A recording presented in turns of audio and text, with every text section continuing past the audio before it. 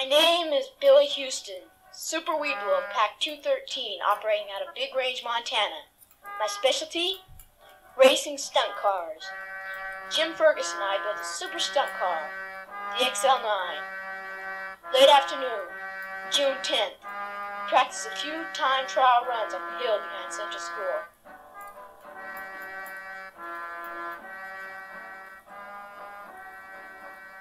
It was time for dinner.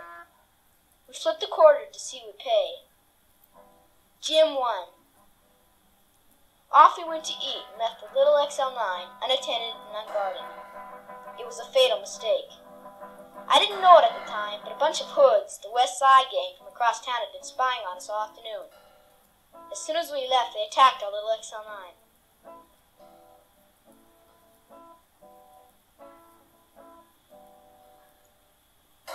First run after dinner, I knew I was in trouble. The XL9 dropped up the slope like a log out of a grease chute. I couldn't control her.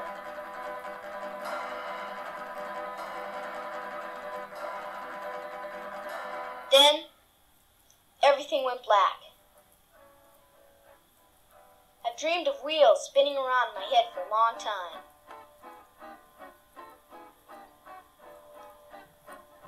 I was thrown clear of the XL9. Rolled and groaned on the ground in convulsions. I must have been all smashed and torn apart. My right leg and arm were just hanging by the tendons. Only my Webelo uniform held my body together, like a bundle of loose meat and bones in a blue bag.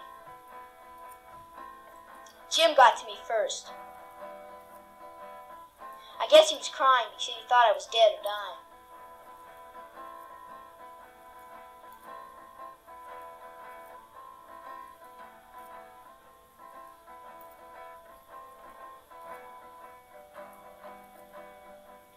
Friends caught nothing could be done to save me. I was battered to a bloody pulp without a sign of life. While they carried what was left of me from the scene, the West Side Gang, like a pack of demons, returned to the scene of the crime to celebrate my death too early.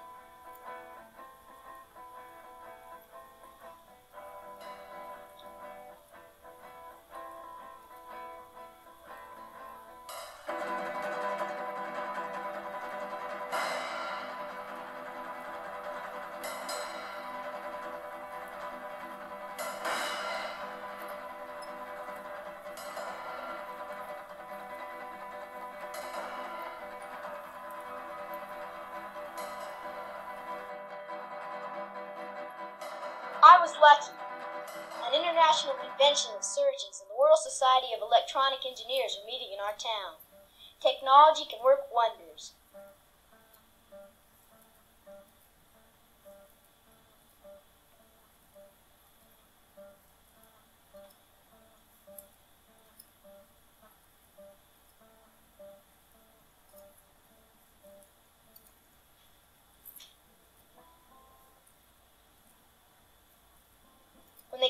Webelo uniform, my right leg and arm dropped off. Yet, after a long, long consultation among the surgeons and electronic experts of the world, they were determined to rebuild me.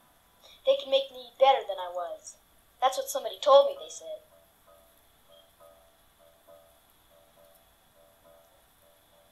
First, they put a new arm on me. They vitalized it with an electric charge from a power pack. Must have been the longest surgical procedure in history. Teams worked in relays for nearly a week before they got me all together again. The whole operation cost a pile of money, over six million dollars. They put a lot of electronic gear inside of me. They prepared a new leg. The leg was made of a special new metal. It looked almost real. Then they brought it to life with a power pack. They welded it to my upper joints by a new surgical method. Then, the crucial moment. With the power pack, they jolted me awake with a tremendous wallop of electric charge. They got me on my feet. I tested my new bionic leg and arm. I felt as good as new. In fact, better than ever.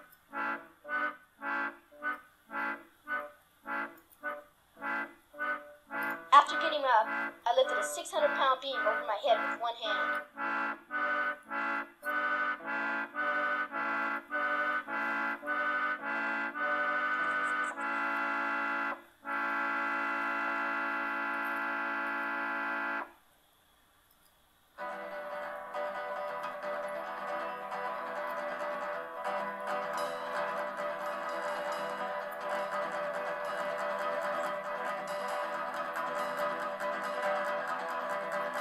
The doctors had made me so fast and powerful, my friends elected me treasurer of the pack.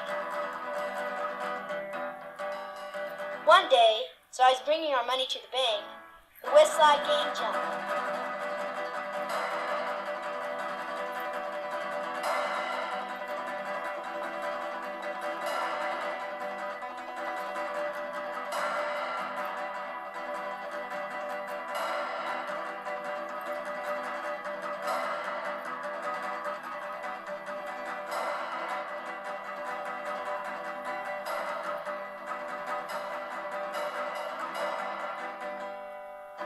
Few minutes later, they had sneaked into their hideout and began celebrating over their ill-gotten gains.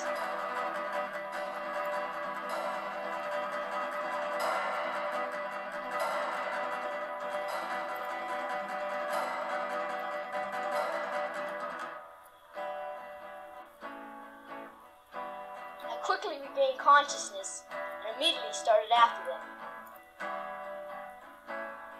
I could race faster the swiftest car. Only in slow motion could I be recorded as anything more than a blur on film.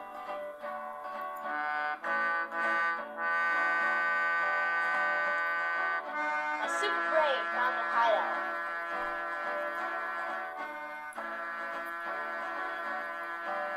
I broke in. They zapped me again.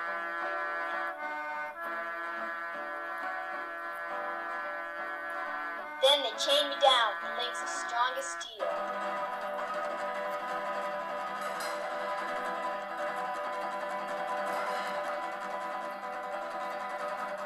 But I could soon came to my senses. My strength was intact. I broke the iron links like paper ribbons.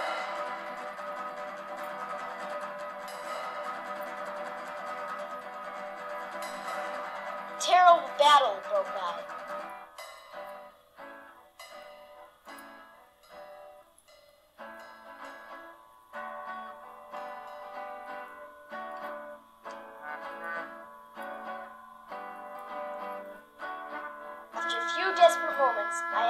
One of them down. Then, all down.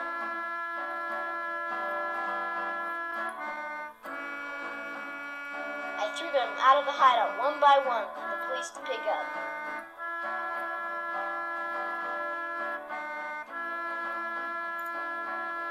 The cause of light, with the help of super strength, had conquered evil again.